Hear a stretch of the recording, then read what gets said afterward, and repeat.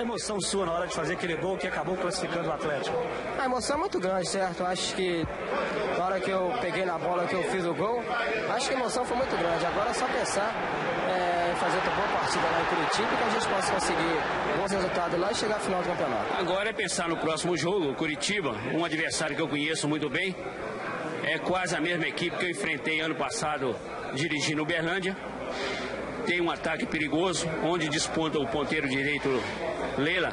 Agora é conversar com os jogadores, dar muita confiança para eles, para aproveitar mais essas oportunidades que surgem durante 90 minutos e tentar ganhar a partida com mais facilidade. Eu acredito cegamente é, que o Atlético vai à final e vai ser campeão brasileiro, porque nós estamos devendo esse título à torcida do Atlético e ela tem colaborado, ela tem é, transmitido a todos nós é, muita confiança, muito apoio e isso é muito importante para nós.